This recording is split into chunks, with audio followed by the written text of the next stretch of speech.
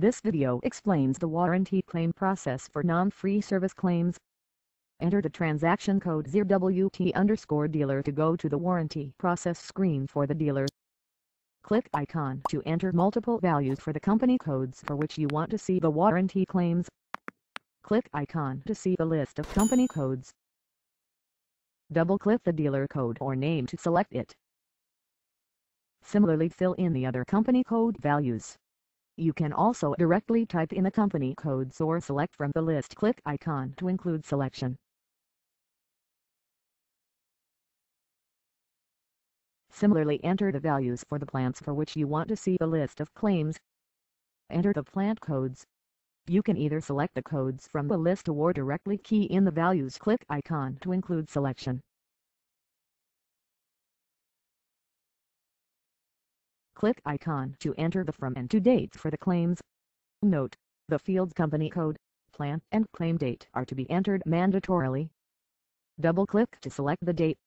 You can also change the month and year from the drop-downs. Similarly enter the to date click icon to execute the query. Click the checkbox of the claim that you want to process. Click icon to proceed with the claim. Scroll down to upload the documents related to the claim. Click here to browse the file to upload. Double-click the file to be uploaded. Click icon to upload the document. Click icon to allow access to the file. You can also press Alt plus A. Click icon to release the claim to VECV. The claim has been saved. This claim number will now be used for further reference and processing. Click icon to return. Click icon to return. Click icon to return. Enter the transaction code 0WTE to process the claim as a VECV official. Click icon to enter multiple values for plant. Click icon to see the list of plants. Click to see the entire list. You can also restrict the values by filling up the search fields. Double-click the code to select the plant. Similarly enter the other plant codes click icon to include values.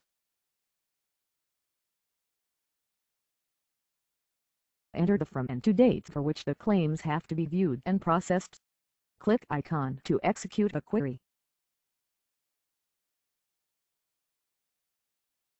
Click the checkbox to select the claim that is to be processed. Note, in this case it is the same as the raised by the dealer. In other cases, the claims that have been pending before can also be processed. Click to proceed with the claim.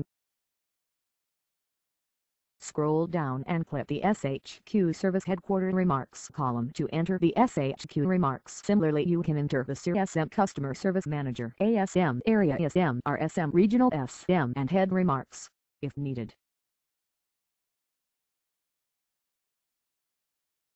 Click icon to see the list of remarks. Double-click to select the reason.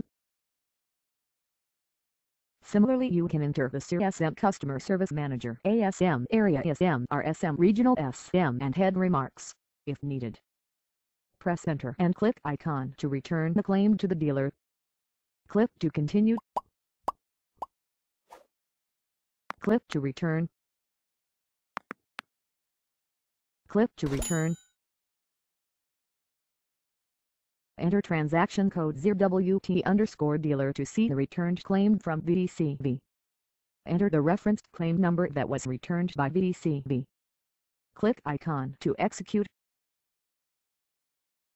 Click to select you can see that the status is return, since it was returned by VECV.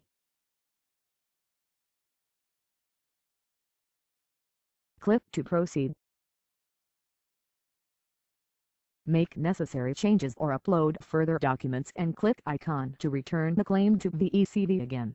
Note, this to and fro of return can be done the maximum of three times.